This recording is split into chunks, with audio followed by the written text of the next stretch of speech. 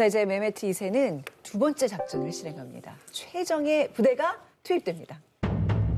메흐메트 2세는 콘스탄티노플 원정에 오스만의 막강 부대 바쉬 보즈크와 예니체리를 포함합니다.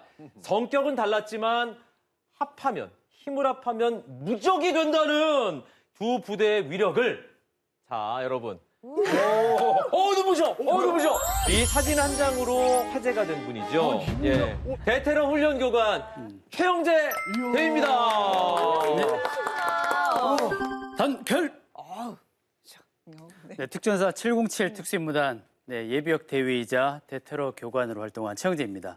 예, 아시아, 아프리카까지 오스만 군대가 정복할 수 있었던 이유는 바로 파상 공세, 적에게 쉴 틈을 주지 않고 끊임없이 공격하는 작전인데요.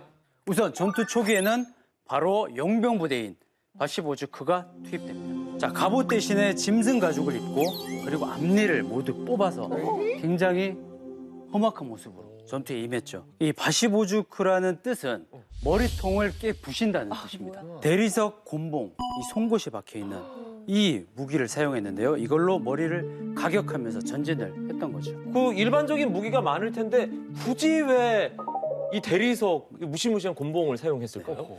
당시에 이 콘스탄티노플의 이 전투, 이 갑옷이 굉장히 튼튼했기 때문에 칼이나 이런 다른 무기보다는 이 대리석 곤봉을 이용해서 격파하는 것이 훨씬 더 어. 효율적이라고 판단을 했기 때문에 이 무기를 사용을 했습니다. 심리전으로도 공포스러울 것 같아요. 네. 저렇게 그냥 앞에 빡 밀고 나오는데 보는 것만으로 너무 놀랄 것 같아요. 그리고 또 그렇죠. 한편으로는 선봉에 아주 뭔가 좀 그 내세울 만한 최고의 정예 병력이 있을 텐데 이 대리석 곤봉으로 그 정예 병력 깨, 깨부시고 들어가면 기선제압 그리고 사기가 중요하잖아요. 싸울 예. 때는 그 사기가 많이 저하가 되는 거죠. 뭐 현재는 근데 국제 전쟁법상 이런 좀 무자비하거나 인권이 뭔가 침해되거나 너무 잔인한 이런 방법들은 쓸 수 없습니다. 특수부대에 있을 때 네. 특수부대원들도 비슷한 방법을 사용을 하긴 하는데 어, 보여드리면 이런 탄창, 어, 탄창이죠 일반. 예. 탄창을 가지고 정말 위험한 상황이나 만일의 사태에 백병전을 해야 될 때 특수부대원들은 이걸로 살상을 합니다. 이 뾰족한 부분, 날카로운 부분으로 이게 눈을 가격하는 거죠. 적에게 되고. 치명적인 피해를 입히는 거예요. 네, 그리고 가- 단검을 가지고 경동맥을 가격합니다. 급소를 한 번에 찌르게 되면 상대방 군들이 봤을 때는 굉장히 공포스러운 장면이죠. 실전에서 쓰신 적은 없으시죠?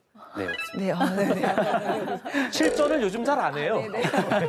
백병전 상황, 그렇죠. 근접전 상황에서는 쓸 수밖에 없다. 그리고 뭐니 뭐니 해도 사실은 전투 초반에 기세 싸움이 제일 중요하잖아요. 기세 싸움이 중요하죠. 유리한 기세를 가져가면 그 뒤에 있는 군인들이 그 사기를 전달을 받게 되는 거죠. 그만큼 전투력이 유지가 되는 거죠. 네. 이, 하지만 이 바시보주크가 정식 군대가 아니라 용병 부대라고 했잖아요.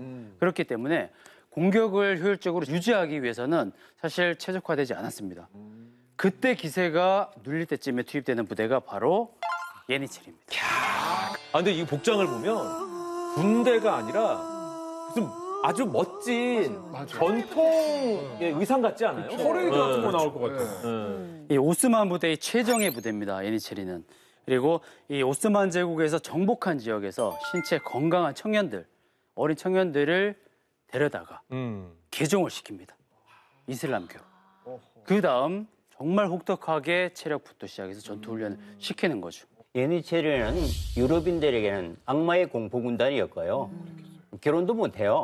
아 그래요? 그리고 생사 여탈권을 예하 부대장이 갖는 것이 아니라 술탄만 갖고 있어요.